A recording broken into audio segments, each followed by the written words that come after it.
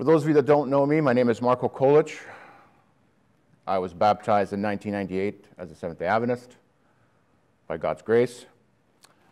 I was born into a Catholic family and lived mostly just like a heathen until I understood that there was a God in heaven and that Jesus loves me.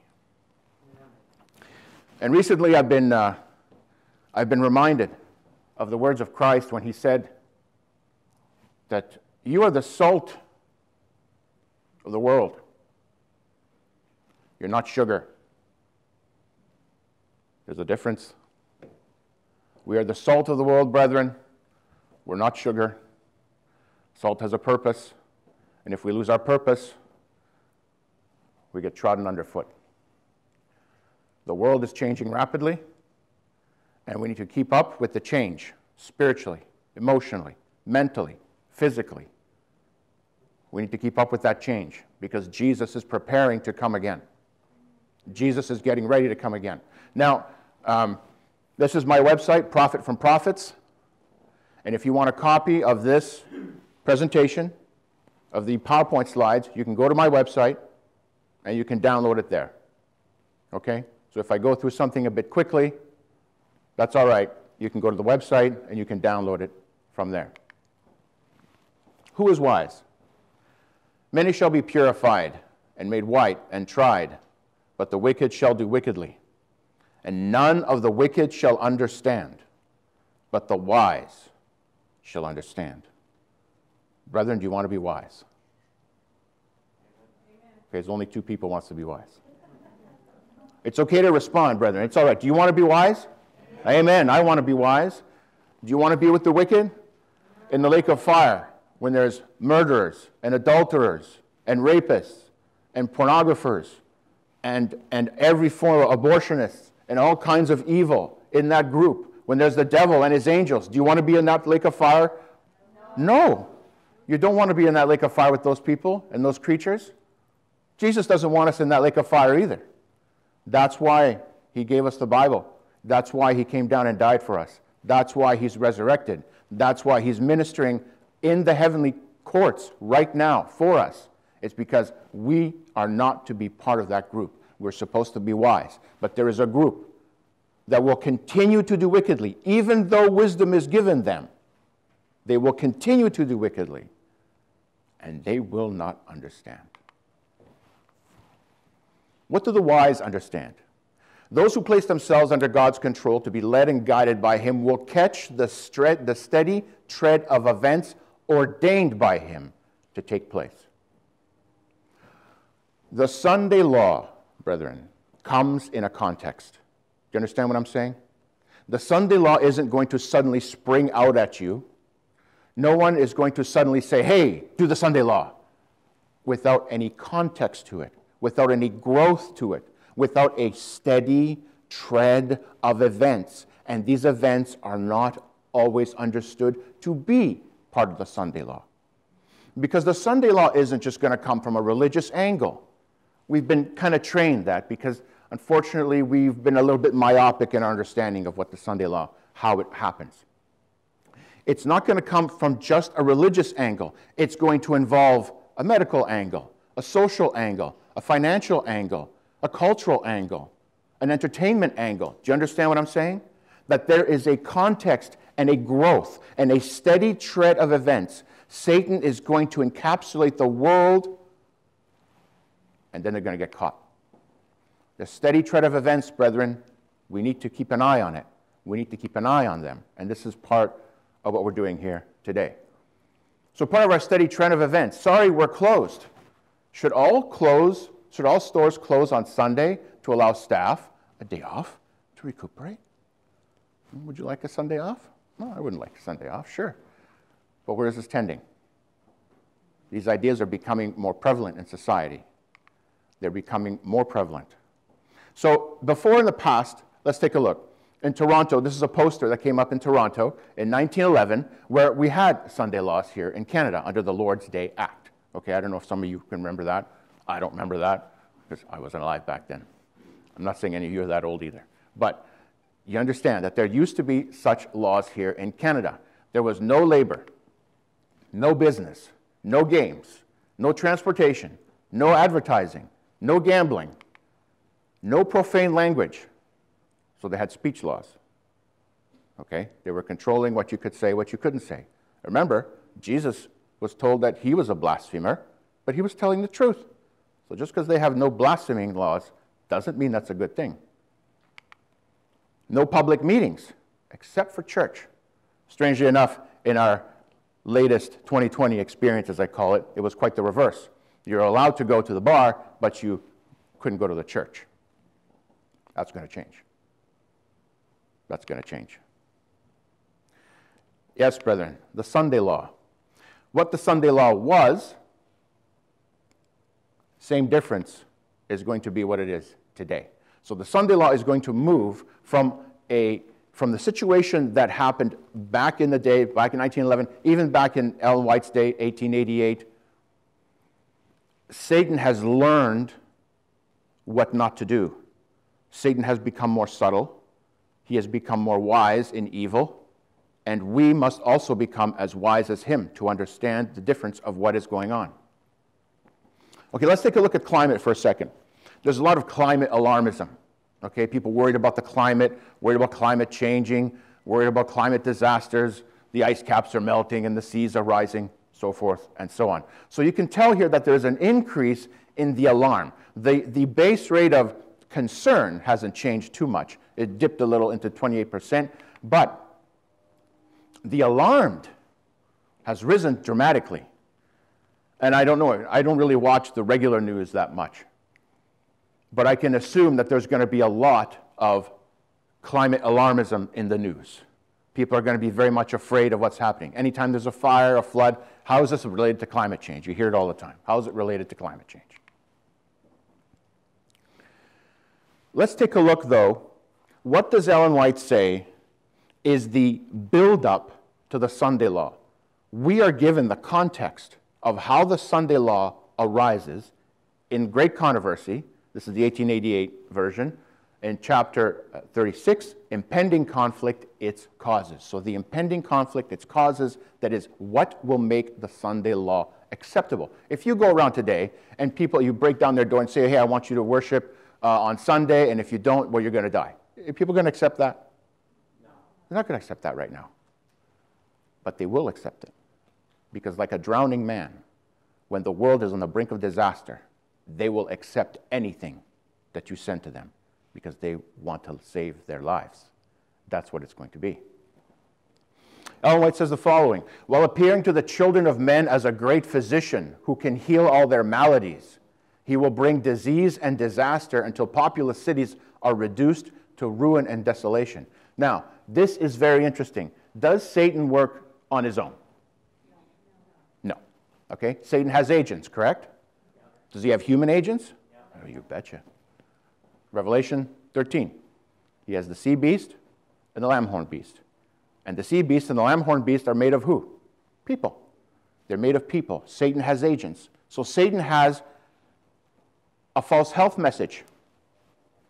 In a time of a false health message where Satan will appear to the children of men as a physician who heals diseases, he actually causes them. And he's going to cause them to the point, now we're not here yet, but we're going to get there. He's going to cause them to the point where populous cities are reduced to ruin and desolation. Now, imagine we had this latest pandemic scare and how afraid people were. Imagine how afraid people were when it really hits. Imagine the fear, the absolute terror that people will feel when populous cities are reduced to ruins. You know that in the, in the plague, there were whole cities that were wiped out, and they were never populated again. Tremendous amount of death, tremendous amount of destruction. Even now, he is at work. This is still talking about Satan in accidents, calamities, conflagrations, tornadoes, hailstones, tempests, floods, cyclones, tidal waves, earthquakes. Friend, who, who's causing that? Is that carbon? Is carbon causing this? No, brethren. And our Adventist brethren need to wake up, need to understand that carbon is not the cause, Satan is the cause, and God Himself will also be doing some of these things. God Himself will be destroying cities. This is serious business. We are a serious people, and we have a prophetic call to fulfill. We are salt. We are not sugar. We cannot mince words. We must be straight with people. We have to love them. But truth is love, brethren. Truth is love. What else does she say? She says, He sweeps away the ripening harvest and famine and distress. He imparts to the air a deadly taint, and thousands perish by the pestilence. In a time of a false health message, in a time when there will be disasters of every type, in a time where Satan will destroy, that is the precursor to the Sunday law. These visitations are to become more and more frequent and disastrous. Destruction will be upon both man and beast. We're talking about large destruction of animal life. Now, we've seen that. Have you not seen that? There's been in the news. There's been thousands of cattle die all of a sudden, and they have no idea. Oh, they said it was the heat. Well, those cattle have been out in the heat like that for eons. You know, for years and years and years, those cattle have been out there, but suddenly they die of the heat. I don't think so. There's something else at work. Oh, let me go back to one. And here's the kicker. And then the great deceiver will persuade men that those who serve God are causing these evils. Well, because you didn't do the climate change thing that you're supposed to do, my grandma died. Hmm? Right? Because you're not obeying what the climate change thing is, you're destroying the planet. Climate alarm. It's a pretext for the Sunday law. That's what it is. It's a pretext for the Sunday law. A pretext is a reason given in justification of a course of action that is not the real reason. We were told this plainly. In the great controversy, it's plain. You can read it. Brethren, the church is not acting as if it believes it. I'm sorry. Our leadership is not acting as if it believes it. They are acting as if they want to trounce around with the eco people and with the green people and with all these things, and we're a green church, and we're. No, we're not. We are not, and God is going to correct this course. I'm telling you, He will correct it. Imagine yourself in the days of Elijah. The people would have been surprised to know that they were a bunch of heathens. Yep. It's going to be like that, brethren. The church is going to be rebuked by God because He loves us. Do you understand? Jesus doesn't want us to be lost. He knows he knows what it's like here. He's been here, He's lived here, He suffered here. He knows the deceptions of Satan much better than any of us here. He knows what he felt, he knows what he had to deal with every day. And he doesn't want us to be lost. That's why he talks to us straight. And when he tells the church, You make me want to puke, because that's what it says in Revelation. He says, You're making me sick not because I hate you, but because of your actions. We have to be aware, brethren. Please, I'm imploring you today be aware and be wise. The people of the world have reason to fear for all the calamities of the earth that are coming, but not for the reason they're being told. The Sunday movement is now making its way in darkness. That's called a conspiracy. And some Adventists, for some reason, don't like that word. They don't like conspirational sermons. Well, if you don't like conspirational sermons, brethren, you're in the wrong place. You're in the wrong church. Let me ask you a question Was there a conspiracy to hide what happened when Jesus died? There was a conspiracy to hide what happened when Jesus died. The constabulary of the day, the Roman soldiers, the religions of the day, the Pharisees and the Sadducees, the government of the day, all conspired to lie about what happened when Jesus died. There was bribes, there was money exchanging hands, there was promises of positions of power. Yes, brethren, conspiracies happen, and we have to be comfortable with that idea. And the thing with Adventists is we're very much like Peter. We're so much like Peter. Peter was afraid of being called names, and he caved because of it. Brother, I'm getting some feedback. Is that from this mic down here? No? Okay. Peter was afraid of being called names. He was ready to pull out a sword and strike, but he wasn't ready to be called a follower of Christ. So if we're too afraid of being called conspiracy theorists, or if we're too afraid of being called nuts and crazy, well, I suggest you have some soul searching to do. Because it's going to get worse, not better. The leaders are concerned, the leaders are concealing the true issue, and many who unite with the movement do not themselves see whether the current is tending. They don't see it because there's a difference between what they say and what they mean. You understand what that means? There's a difference between what they say and what they really mean. The leaders know what they're doing. The leaders are connected with Satan. They are inspired by Satan. They are talking to Satan in the form of demonic spirits. They are, they are communicating with the devil. But the vast majority of people, they don't understand. They're caught up in it. They're caught up in it.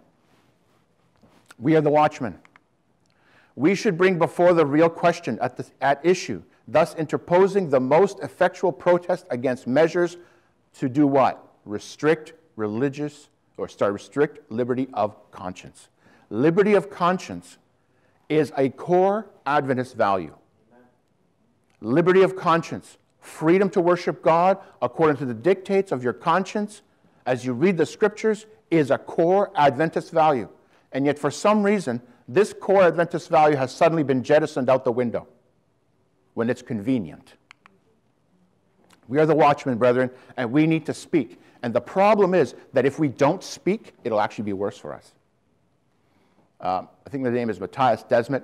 He's the gentleman that's talked to Robert Malone with regards to what has happened with the pandemic and how people reacted to it. And he says this in, all, in, all, in, in, in the group, in groups of people, what happens is that there's always a large majority that will go along with what, what the government says, and what the government mandates, but there's always a core that will refuse. They will refuse for whatever reason. And that core that refuses, if they speak up, they're actually able to reduce the violence and the, the, uh, the acts against them that they would normally face if they stay silent. And so we have to speak. It is actually for our own benefit if we speak. Ellen White tells us to speak. The Bible tells us to speak. We cannot be silent. We are the watchmen. We need to speak. Okay, so regarding the Sunday law itself now, okay, how is it actually evolving in our current context? We talked a little bit about climate change, talked about a few things, but let's take a look. What is the actual context? And I propose that the Pope's encyclical Laudato Si really sets the tone. It really sets the tone for what we're seeing today. Okay, number one, if you read Laudato Si, it is steeped in pagan ideology. Absolutely steeped in pagan ideology. Everything, this is a quote from Laudato Si. Everything is related, and we human beings are united as brothers and sisters on a wonderful pilgrimage, woven together by the love of God has for each of his creatures, and which also unites us in fond affection. Isn't such a lovely idea? Oh, it's so wonderful. It's so sweet. And we get to be with brother, sister, uh, brother sun, sister moon, uh, brother river, and uh, Mother Earth. What is that called? Pantheism. That's called pantheism. The Pope is a pantheist. And for Seventh day Adventists who have a difficult time understanding, no, the papacy has not changed. It never will change. It has always been pagan. It always will be pagan, period. The Pope is a pantheist. My brother is right here, and he is not a river. He doesn't look very liquid to me. I understand that we can care for the earth. I understand that we should have be responsible. That we should be responsible. That we shouldn't pollute the earth. Yes, this is true. But what they do is they take what's right and they take you to the next step, and then it becomes wrong. Abolition of private property is part of Laudato Si. The principle of subordination of private property to universal designation of goods, and thus the right of everyone to their use, is the golden rule of social conduct. The Christian tradition has never recognized the right to private property as absolute and inviolable. That is wrong. When the Hebrews were given land, was it theirs? Even if they sold it, would it come back to them? Yes. yes, because it was theirs. When you go to heaven, are you given land? Yes, you are. Can anyone take it from you? No. You will eat of that vine, you will drink of that stream, you will eat of the fruit of the tree, and it's yours, and it will be an eternal inheritance. The Pope is a liar. The Pope is a fascist. He's not a communist. People call the Pope a communist. He's not a communist, he's a fascist. And a fascist allows for religion as long as it serves the government. And that's what's going on. Religion connecting with the government, connecting with economic powers, and they're all going to go along together and enforce the Sunday law. What does Revelation 18 talk about? Who gets really sad when Babylon gets destroyed by fire? The who? The merchants. Why would the Bible talk about merchants if they weren't involved? They are involved, deeply involved. And notice, of course, it's never the popes that lose their land, right? Is the pope going to share his golden slippers? Is he going to sell his pearled robes? Yeah, I don't think so. Pantheism, continuing on. Thus, the creatures of this world no longer appear to us merely under a natural guise because the risen one is mysteriously holding them to himself. So Jesus is holding sparrows and birds and crickets and lions and tigers and bears. The very flowers of the fields and the birds which human eyes contemplate and admired are now imbued with his radiant presence. That's exactly what Ellen White warned Kellogg about. This is pantheism, this is fascism. This Laudato Si sets the stage for a universal green Sabbath. Because as you see, Sunday sacredness is part of Laudato Si. On Sunday, hmm, on Sunday, our participation in the Eucharist has a special importance. Sunday, like the Jewish Sabbath. No, Sunday is not like the Jewish Sabbath at all. Number one, it's not Jewish. Number two, there's nothing like it. Is meant to be the day which heals our relationship with God. Again, wrong. With ourselves and with others and with the world. Not true. Sunday is the day of the resurrection, the first day of the new creation, whose first fruits are the Lord's risen humanity, the pledge to the final transfiguration of all created reality. It also proclaims man's eternal rest in God. No, it does not. But the Sunday is the center of Laudato Si. So the Pope has connected environmentalism and Sunday sacredness in the context of pantheism and fascism. That's what he's done. Okay? Let, there no, let no one be deceived. This man is the Antichrist. He is the Antichrist. He always has been the Antichrist. He knows who he is, and he knows exactly what he's doing. Laudato Si, connecting pagan earth worship, fascism to the environment, and Sunday sacredness. Has it worked? Are people drinking the wine? Do you, th- do you think it's worked? Mm. Does the Bible say it's going to work? Oh, yes. Oh, yes, it does. So let's take a look. So, shortly after the Pope's encyclical, we can see things like this starting to pop up in 2015. The Pope's top 10 commandments on climate change. Well, the popes have, look at that. Top 10 commandments. So, wait a minute. It's a commandment. So, he's not suggesting you do this, he's not suggesting you do that, he's commanding you. That means laws, brethren. That's laws. If you want, you could even uh, pray the Laudato Si prayer book. You can pray to Brother Sun, Sister Moon. Yes, there is a popular, there is a popular response that has happened since 2015. Look at it from the Jewish perspective. Is there nothing you can do about the environment? The Green Sabbath Project. Okay? Is there nothing you can do? Nothing may be one of the best things you can do. One day of the week, do nothing. Is the Sabbath about doing nothing? No. What's the Sabbath about? Praising God, worshiping Him, coming to know Him, working for others, healing, doing good. That's what the Sabbath is about. And this Jewish man created the Green Sabbath Project. You would think a Jew would have a better idea, but like the Jews of old, he doesn't. For the clergy and spiritual leadership, this is what he says for clergy and spiritual leaders, make ecology the center of your Sabbath. Who's the center of the Sabbath? Jesus Christ is the center of the Sabbath. It's not the earth. Brethren, what's going to happen to the earth? It waxes old like a garment.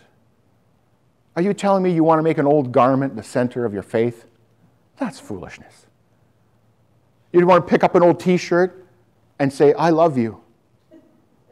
That's essentially what they're do- doing. When you think about it, when you take a step back and look at it, it's completely ridiculous. It is ludicrous. It is insanity of the highest order. But it is couched in such language and it is participated with, with such, with the, with the music and the entertainment. What was used to make people worship the idol? Music. What did Nebuchadnezzar say? When you hear the sound of the sackbut and the harp and the this and the that, and who was there? The satraps, the ministers, the officers, government, entertainment, together to lead, to worship the pagan God. This should not be news to a lot of us. But for some reason, some Adventists find this completely new. Let's take a look at some of the Protestant response. I, I, I know it might be a di- bit difficult to see up here. Again, you can download this at my website. I'll have that back up again if you want me to. I'm going to read through it a little bit. This is Climate Sunday. Climate Sunday now. So we've gone Green Sabbath, Climate Sunday. In the run up to COP26, which was a meeting of a UN panel uh, two years ago, and there was one again just this last year, COP27. Over 2,200 churches and church groups throughout Britain and Ireland participated in the Climate Sunday initiative addressing climate change by holding Climate Sunday services, committed to practical action and speaking up for climate justice. Climate justice. What is climate justice? Okay, first of all, what is justice? Okay, it's an, well, it's an administration of law, correct? It's an administration of law. When you want justice, you go to the, you go to the courts. I've been wronged. So I look for justice, right? Basic idea. Climate justice. What is climate justice? Uh, did I offend the rain? Did I, did I trample on too many ants? What is that? That's foolishness, is what it is. It's ridiculous. But they use words like that to create thoughts and ideas. They use language to make things real that are not real. I've heard it said if I can convince you of absurdities, I can make you commit atrocities. Do you understand what I'm saying? If I make you believe absurdities, like a man can be a woman, then I can make you commit atrocities. And people are committing atrocities. Now I'm going to go back and i read that last little bit on the bottom. Climate Sunday was a resource of, by a coalition. Now, this is not just one or two people, this is 2,200 different churches and groups a coalition of 31 denominations and charities, members of the Environmental Issue Network of churches, together with Britain and Ireland. I'll go down a little bit. They want to contribute to civil society efforts to secure adequate national and international action. It's always top down. What is action at the local level and international action? What would that be? Laws. They want laws. They want laws that will enforce climate Sundays. That's what they want in the beginning, as the Sunday laws are agitated, and they are being so now, as these Sunday laws are agitated, it will first be, more than likely, just to close on Sunday. We're not going to have a problem with those. But those laws are going to get more stringent, and we're going to have a problem with the next phases. We're going to have a problem. All right, the Protestant response. Let's take a look. At G7 begins, the world needs climate Sundays and wild Christians more than ever. Well, this is probably a long time ago. I mean, this was, oh, oh that's June 2021. Well, that's not that long ago. We need wild Christians. We need climate Sundays. You see, it's becoming more prevalent. The people's mind is being primed. There's a context, a context. Satan knows the boiling, the boiling frog in a pot. You put the frog in the pot and you burn it slow. nice and slow until it's too late. And this is what's happening. See, the problem with Seventh day Adventists is we're looking for the word Sunday to pop out at us and bite us in the face. That's not how it's going to be. It's going to be a long, well, I wouldn't say long, it's going to be a short, quick process, but it's going to be somewhat subtle. It's going to look good. It's going to look good. It's going to look like it makes a lot of sense. Cultural response. Here we go. Is everybody familiar with TikTok? Okay, TikTok is, if you're not familiar, it's an app, and you can look at it and people do silly things or, or whatever that's on there. All right? So, but it's very popular, especially among the youth. Sunday rest, TikTok's latest wellness trend, can help you have a productive week. Look at that. Well, that makes sense. What do they do? Sundays are typically associated with the day of rest. Has turned the last day of the week. Wait a minute. What day is Sunday? It's the first day of the week. But what day is Sunday in popular ideas? It's the last day of the week. What day is the Sabbath? It's the last day of the week. It's the seventh day. The Sabbath is the seventh day. So what are they doing? They're starting to switch. If you don't know your Bible, you're going to get tripped up. Okay? You're going to get tripped up because it's subtle. So Sunday can be the first day of the week, but it could also be the last day of the week. It doesn't matter. They'll take it anyway, but they'll end up with confusion. Over the, four, over the 437 million views, brothers and sisters, 437 million views. That's almost half a billion people. The Sunday rest has become a regular occurrence. They're primed. Culturally, they're primed. Culturally, these people are primed to accept the next step. And then they clean their room and they make videos about cleaning their room. Okay? It's already happening. Talk about Sabbath psychology. What is this now? This came out in October 6, 2022, years ago. Yes. A lot of this stuff is very recent. A lot of this stuff is very recent. Resilience, the Sabbath, and the planet. What does he say? As we give time to ourselves for a Sabbath and sabbatical to build our resilience, we can also give time to our planet for regeneration, rejuvenation, recovery, and resilience. It's in psychology, it's in medicine, it's in culture, it's in news, it's in prayer books, it's in business. With two delivery drivers suing over schedules, Sabbatarian Christians, these were Sunday keepers, but they call them Sabbatarian Christians, find their observance increasingly countercultural in a 24 7 economy.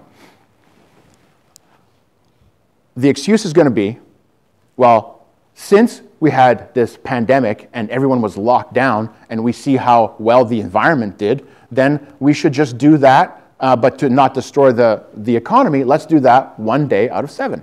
Let's do it on Sunday. That's what's going to happen. That's how it's going to be. Could Sabbath closure laws make a comeback? This is January 11th, 2022. Could they make a comeback? Yeah. you betcha. If I was a betting man, I'd bet a lot of money on that. But you know what I'm saying. They are going to make a comeback, a big comeback. Now, when they say comeback, what does that mean? That means they're still there, right? If they come back, that means that they're still there. And there are a lot of laws that are still there in different countries, the states, whatever. Some of the laws have never been repealed. They're still there. They just have to be activated, that's all. There just has to be a willingness to do it. A business response. In Austria, several large retail chains are considering closing their stores on Sunday to save their energy bill, and the Sunday Alliance welcomes this development. Well, isn't that interesting? Of course, they welcome the development, but they don't see what's tending. A lot of those Christians, a lot of them don't understand. They're honestly deceived. And many of them may actually turn around when we speak up like we're supposed to. If we really care, if we really care about those that are lost, we say the hard things. We live the hard things. So let's not fool ourselves to thinking that we love people when we don't say anything and when we don't do what we're supposed to do. That's not love, that's cowardness, and cowards don't go to heaven. Brethren, Jesus is being plain. Cowards do not enter the kingdom of heaven. They don't. I don't want anyone lost. I don't want anyone lost. I know it's hard. I know it's not easy being the outlier. It's not easy, it's difficult. It takes sacrifice, but that's what Jesus calls us to do to sacrifice our own feelings, our own emotions, our own ideas, and believe what the Bible says and what the spirit of prophecy says, and to see the tread of events and do what he tells us to do. Otherwise, we are unfaithful, just like the Jews. And our future will be just like theirs. Vatican News, August 25th, 2022. Catholic legislators promote better society through far sighted legislation. Okay, Catholic legislators. These aren't legislators of Vatican City.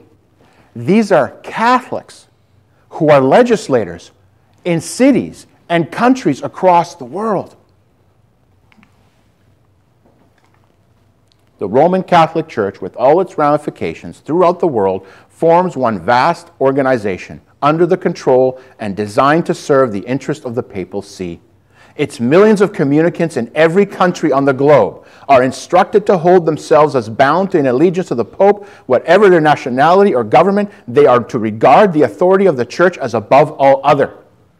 Though they may take the oath pledging their loyalty to the state, yet back of this lies the vow of obedience to Rome, absolving them from every pledge inimical to her interests. Great Controversy, 1888, page 580. What do you think those Catholic legislators are looking to legislate? Freedom? No. No. They're looking to legislate the will of Rome. The will of Rome will be done because Protestants have forgotten who she is that Rome is the whore of Babylon, the man of sin, the mother of harlots. That's who she is. That's what we're fighting. We're not fighting people with guns. We're not fighting people violently. We're fighting for their souls, for the truth. We're fighting for their hearts and their minds. It's going to call on us the greatest amount of self denial, the greatest amount of self abnegation. It's going to call on us everything. But in that call, what we do, Jesus will bless us. He will be with us.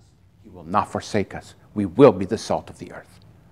We will save many, not because of ourselves, but what Jesus can do through us. Where does this lead? A return to Sinai. Interfaith Center for Sustainable Development, the Elijah Interfaith Institute. What is Elijah connected with? Fire on Mount Carmel, right? He called down fire from heaven and he showed who was, who, was, who was who. He showed who was God. What does Revelation 13 say? Where is the fire going to fall this time? On the right altar or on the wrong altar? It's going to fall on the wrong altar because Satan is going to be allowed to do this type of miracle. Return to Sinai a prophetic call, no less, for climate justice. Again, their buzzwords, and ceremony, a ceremony of repentance. Sunday, November the 13th, 2022. When was that? That was last. Yeah, that just happened. That just happened. Now, there was no fire that came down out of heaven to bless them. But, brethren, you can see where this is tending you can see where people's minds are going. Here it says on Sunday, November the 13th, religious leaders will return to Mount Sinai, a mountain whose memory and meaning loom large as a place of revelation in the collective consciousness of Christianity, Judaism, and Islam, and others. It is a site for turning to God and receiving God's message. Well, was the message received? Yeah, it's written down, it's in the Bible. You don't need to go to Sinai anymore. Yeah, they went to the wrong, the wrong place. But you understand their, their, their purpose. We return to Sinai in a movement of repentance and quest. We seek a new vision for humanity. What's wrong with the old one? What's wrong with what Jesus told us already? And its endangered existence, and we seek to receive and amplify the message of life sustaining living and habits that humanity needs to hear today. In this spirit, which is a spirit of rebellion, the project partners will bring together premier religious leaders from the world's major religions to gather upon Mount Sinai and engage in a first ever climate repentance ceremony and to put forth a prophetic interreligious call for action. Climate justice, 10 universal commandments. What do you suppose one of those commandments will be? Sunday, Sunday sacredness. Can we unite, brother, with the 10 eco commandments? The leaders of the Sunday movement may advocate reforms which the people need, principles which are in harmony with the Bible. Not everything they say is wrong. Not everything they say is wrong, but that doesn't make it right. Because it says, Yet, while there is with these a requirement which is contrary to God's law, his servants cannot unite with them. So, unfortunately, we have church organs like ADRA.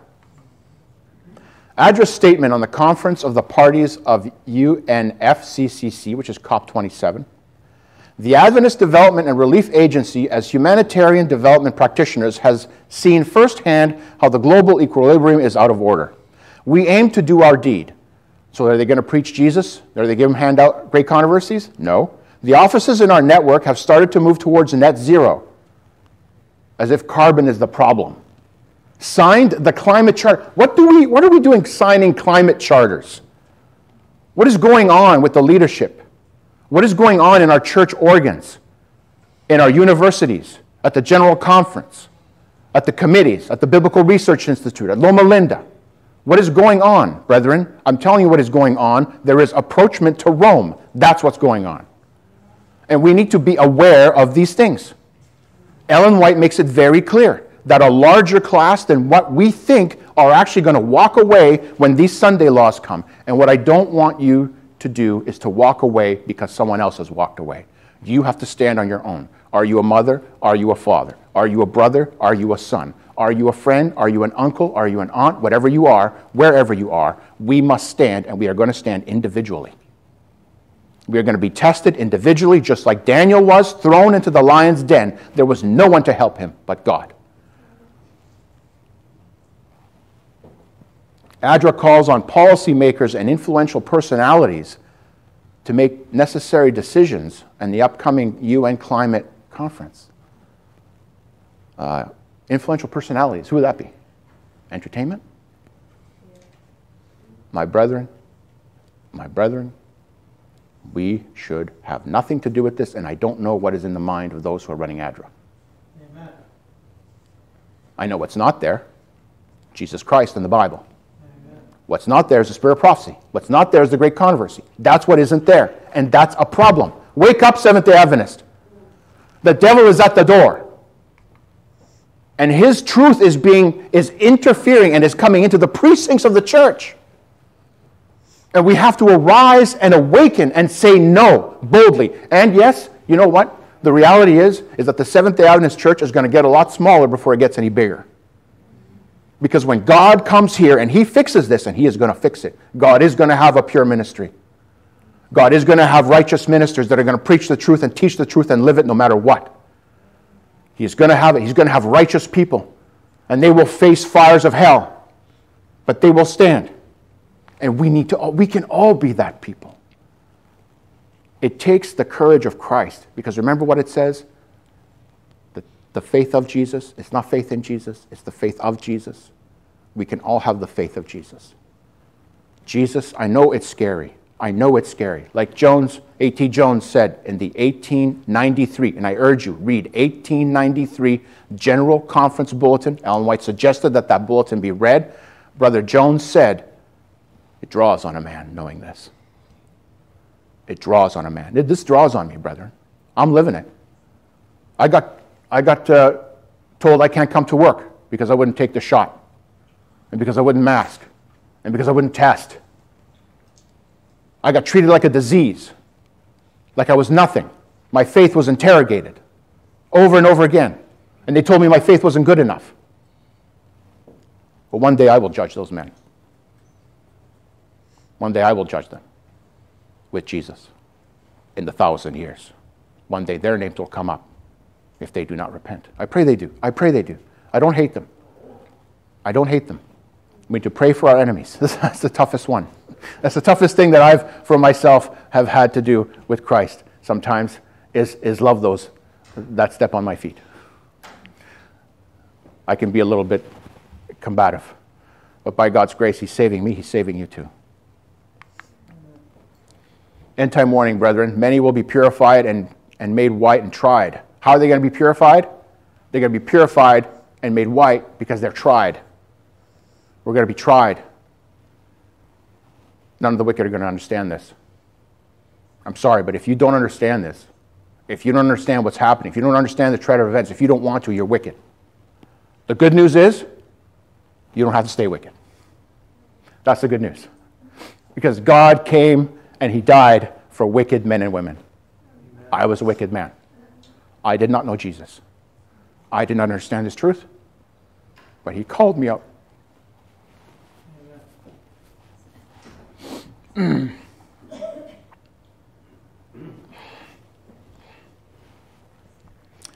called me and he saved me.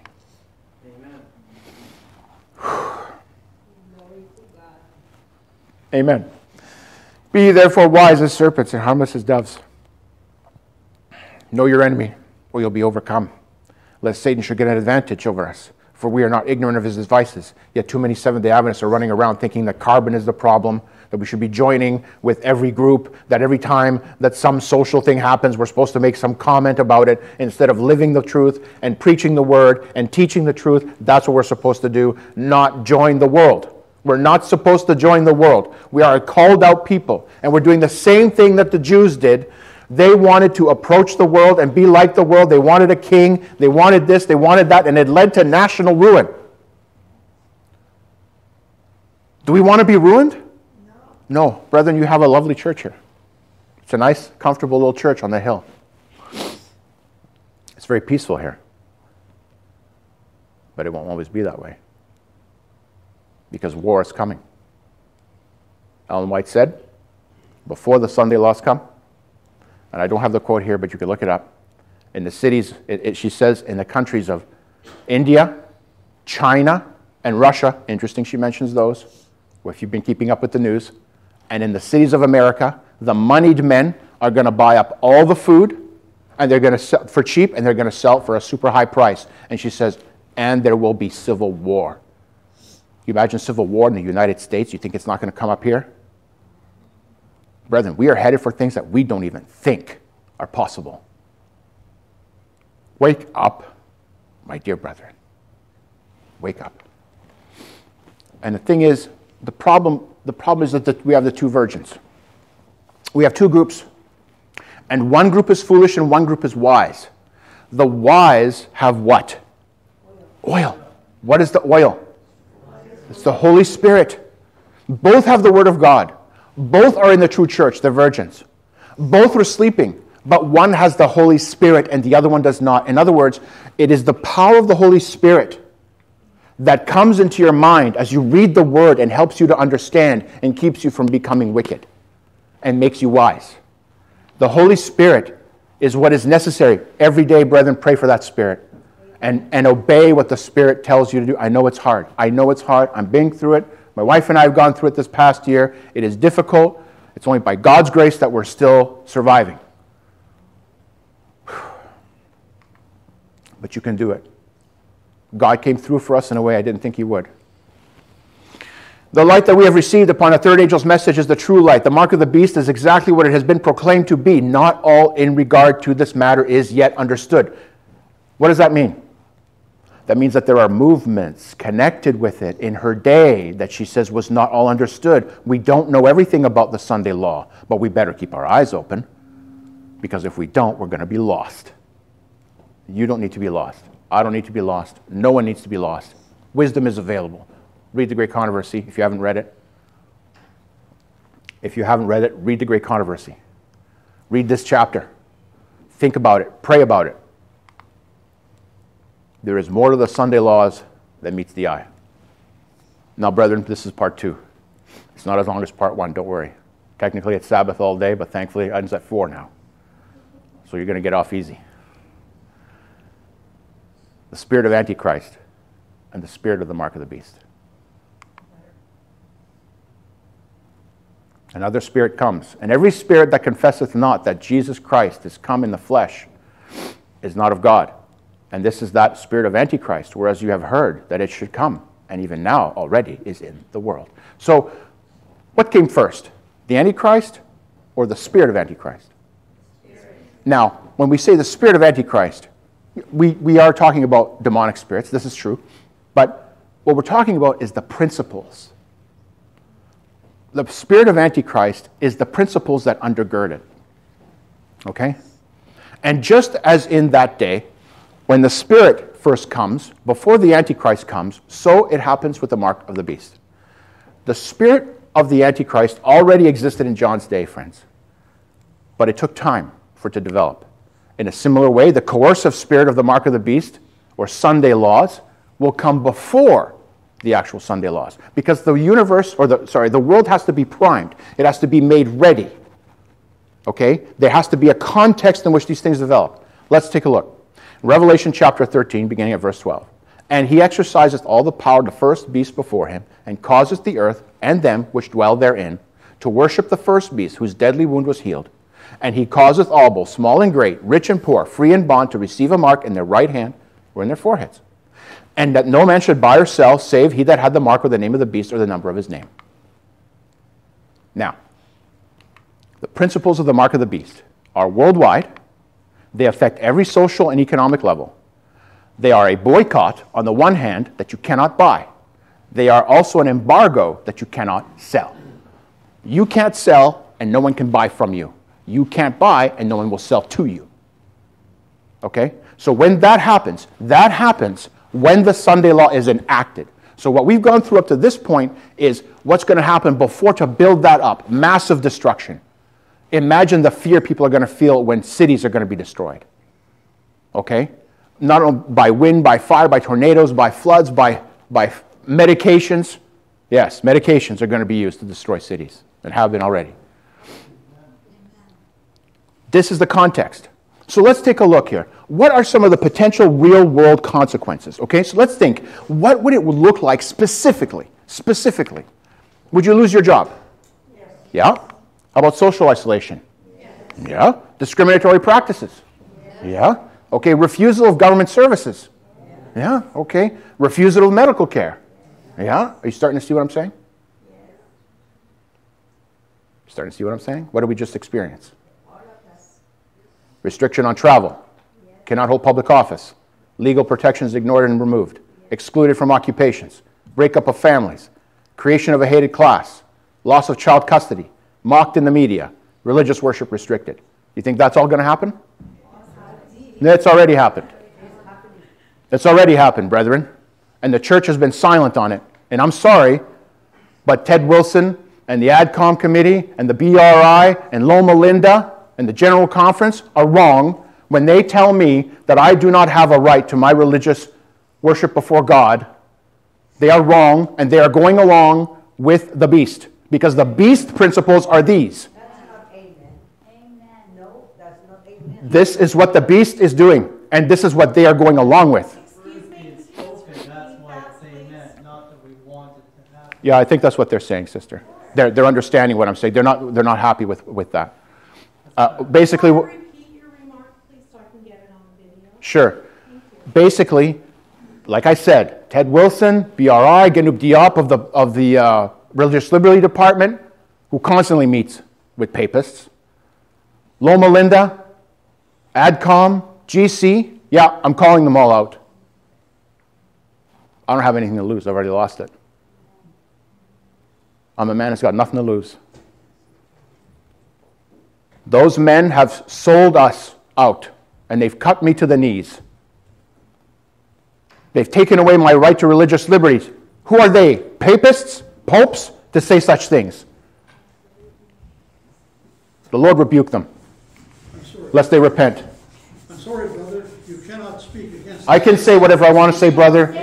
They themselves, they, dis- they themselves destroyed my religious liberty. More true than you. You're preaching lies. You're preaching we cannot be perfect before God. Jesus himself said, go and be perfect before God. You are You're wrong, preaching Gordon. lies. You're wrong. Dave, you can't talk like All right. I'm sorry. If he's going to say this isn't true, I can stand up and say he's preaching It's all right, brother. I'll take care of it. Yeah. I'll take care of it. These men are not necessarily lost. They have the opportunity to repent, like we all do. Meeting as well, and it won't- We just pray for them. We need to pray for them, sister, absolutely. Because they are men in charge, but they have lost their way. I don't hate them, but I've experienced wickedness at their hands. And many Adventists have experienced it at their hands. And they would not acknowledge it. Loss of job, no jab, no job. Social isolation, social bubbles. No jab, can't visit the sick in hospital. Discriminatory practices. Can anyone tell you? Anyone can tell you to leave their store if you don't cover your face or eventually if you don't get the jab. Refusal of government services, didn't want the jab, lost your job, no EI, too bad for you. Refusal of medical care, no jab, no organs. Some transplant patients told basically that you're going to die because they're not going to give it to you if you don't take the shot. Restrictions on travel, no jab, no travel. Cannot leave the country, get hassled, try and get back in. Cannot hold public office, no jab, MP prevented from work. Legal protections ignored, no jab. All charter and constitutional protected rights in Canada were completely ignored. Excluded from occupations, no jab, cannot find a new job. Breakup of families, no jab, family members say don't come. That's a terrible thing to say.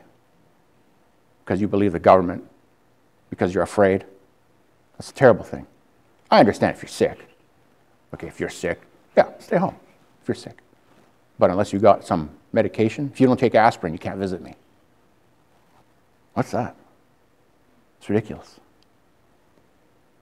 I'm sorry this causes dissension, brother, sister, but I'm not the cause of dissension. It's the truth. It's the truth. Mocked and vilified in the media, no jab, called derogatory names. I have no empathy for the left for the unjabbed, let them die.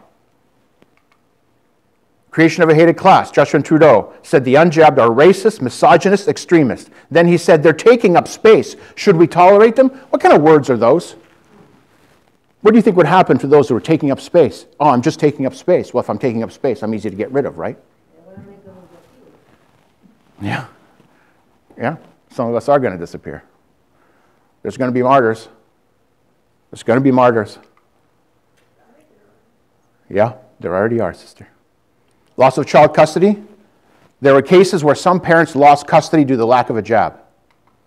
Religious worship restricted. The state told the church when and if it could open, put conditions on how it could open, determined who was allowed in, how many were allowed in, and what you could do when you eventually did get in, and some Canadian pastors were arrested. And we don't think that this has anything to do with religious liberty. Where is the mind of some of us? I'm sorry that the brother here got offended. But Jesus came and said, I'm coming to bring the sword. I'm not coming to bring peace because the peace that I bring is conditional on obedience to my will and my way and my truth. And Jesus has already shown us that he is not an authoritarian tyrant because he's willing to die for me, willing to die for you, willing to die for you. Amen. And you and whoever else. Jesus has died for the whole world. He is not an authoritarian tyrant. Satan is an authoritarian tyrant, and this is the spirit. This is the spirit of the mark of the beast. It is the spirit of the Sunday law, and it is here. Agitation for the Sunday law is here. The spirit for the Sunday law is here. How much more time do you think we have before it actually happens?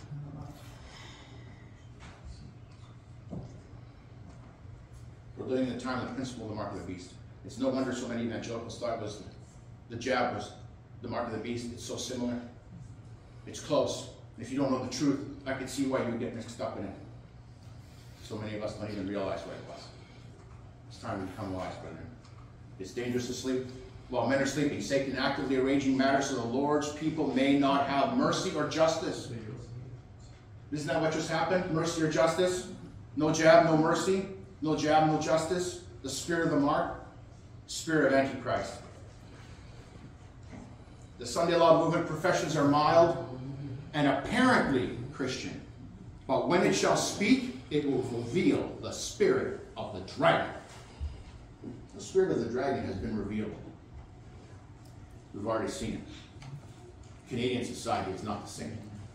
Don't think that things are going on the way they were. They're not. Our society is fractured. The world is fractured among those who resisted and those who did not. And that spirit, what do you think that's from? 2020 experience is a prelude to the Sunday law, where mild requests became hard demands. That's what happened. Are we prepared for the storm? As the storm approaches, a large class will profess faith in the third angel's message, but have not been sanctified through it and abandon their position, and take refuge under the banner of the powers of darkness. You know, the brother there said, I can't speak against the, uh, the elders of the church, but the Bible speaks against them. If you read Revelation chapter 3, and you read the message of the Laodicean church, it's not a message of the Laodicean church, it's a message of the angels of the church. Who are the angels of the church, brethren? They are the ministers, they are the conference presidents, it is them. That's what it's talking about. And it says they are blind, and they are naked, and they are wretched, and they are miserable, and they are poor. Our church is rich financially, but it's poor. We're poor in Jesus. Look, I'm in the church on a Sunday I don't hate you. I don't hate you. I don't hate anybody here. Okay? I don't hate these men. I don't hate these people. I don't hate the group. I don't hate the BRI. I don't hate Loma Linda. I don't hate them. But they're wrong. And pointing out that they're wrong is not hate, it's true. That's it. The Bible says it. Look up what White says. She says ministers and doctors will lead the faith. Why does she say doctors? Oh. Ministers and doctors. Why does she say that? Because the doctors are involved in the spirit of the Antichrist. That's why. They're involved in the pharmakeia, which is sorceries. That's what they're involved with. We have a health message that is without drugs, brethren. Without drugs. Ellen White says we're going to do a work in the cities without drugs. Does that mean we're going to go with a bag of our mRNA needles in the cities? Do you think I'm supposed to believe that God bypassed his people and gave the treatment for COVID to Pfizer and Fauci and Tam? I'm supposed to believe that God bypassed his people. Where in the Bible does it say that? You know, people want to say, say, oh, you're causing dissension. You're talking against the truth. You're talking against the truth for what you're doing. Amen. You're the one that's descending. You're the one that's destroying people. You're the one that's guilty. It's you. And if I'm talking with a little bit of intensity, brethren, forgive me. It's not anger. But I don't think the prophet spoke like, oh, my God. You know, stop sinning, you know. It's enough. We have to be focused. We have to be straight. We have to love one another. I love the brother. We'll pray for him at the end. He's upset. I upset him. I don't want to upset anybody. We're going to pray for each other. We're going to love each other. And we're going to come together and figure it out. Look, I understand people have a hard time believing what I'm saying. But it should be pretty plain what Ellen White is saying. I'm quoting the Bible, I'm quoting these people, and I'm quoting Ellen White. So, what more do you want? Nothing more that we can do. Oh, and just quickly, the easy popular side. What was it just recently? We know it was. The easy popular side is doing what the government told you to do. Shut down the church when the government told you to shut down. Take the thing what the government told you to do. That's the easy popular side. We have an opportunity to repent. God, in His mercy, allowed the situation. I believe it. He allowed it like a flare, and a flare is a flare of warning. And He told us that if this is where you are right now, you have an opportunity to repent. That's how God has worked. You read the Bible. You read the Bible over and over again. God would first send a message of warning, but it's a hard message. Hey, they said to Jesus, "This is a hard message. You can hear it." Are you telling me Jesus was all smooth and butter? Jesus wasn't sugar, he was salt, brother. Where to be salt. And that message is going to do its work. It's going to do its work. It's going to rile us up, and we're going to fight against it, but God is going to soften our hearts. And we're going to say, okay, Jesus. One man should die. Yeah, That's what the Jews said. That's what the Jews said. Save the nation. one man should die to save the nation. That's what, the, that's what Canada said. A few people should die to save the nation. This, the Spirit is here. Christianity is gone from culture. It's gone. It's erased. It's not. It doesn't exist anymore. What is here is the spirit of the Antichrist, the spirit of the Sunday law. What do we do? The only one thing we can do. We can dare to be here. That's what we do. We read that story. We believe that story. We pray that story. You If you don't like Daniel, you can be Joseph. If you don't like Joseph, you can be Enoch. If you don't like Enoch, you can be Noah. If you don't like Noah, you can be Peter, eventually. The good part, not the bad part. If you don't like Peter, John. you can be Paul, who was Saul, who fought against the truth, was angry against the truth, and he raged against the truth. And then Jesus showed up and said, I'm the truth that you're raging against. And Paul's heart just melted. It melted.